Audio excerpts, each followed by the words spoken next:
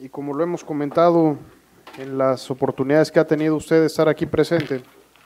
nosotros como comisión en una primera etapa y como legislatura en una segunda, estaremos buscando de manera responsable darle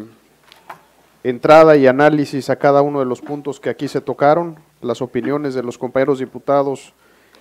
eh, creo que fueron importantes y ayudan a abonar a la transparencia que esta comisión eh, se ha venido, con la, con la transparencia que esta comisión se ha venido manejando y se ha venido desempeñando.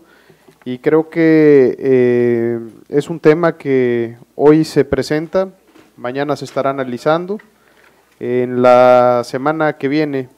tal vez martes, miércoles o viernes, no sabemos todavía cuándo lo, lo, lo vayamos a programar para que se suba al Pleno,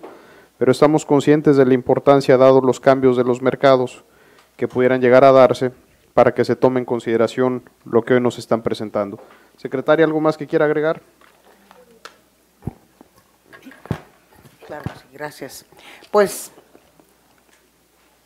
primeramente agradecerles la atención que han tenido y comentarles que les invito a que eh, sigamos analizando, ¿verdad?, esta solicitud, dado que las condiciones eh, que tenemos eh, considero que pueden beneficiar mucho a, la, al, a las finanzas públicas, del, a las finanzas del gobierno del Estado, para lo cual este, nos ponemos a disposición de todos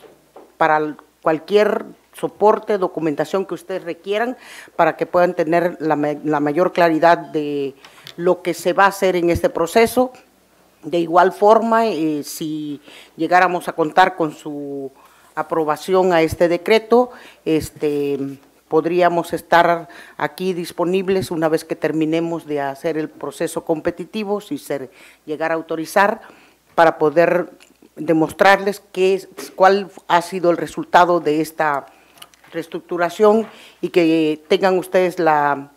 certeza de que estaremos siempre encaminados a, buscar las mejores condiciones, los menores costos posibles para tener el mayor beneficio para el gobierno del Estado. Muchas gracias. Gracias, secretaria.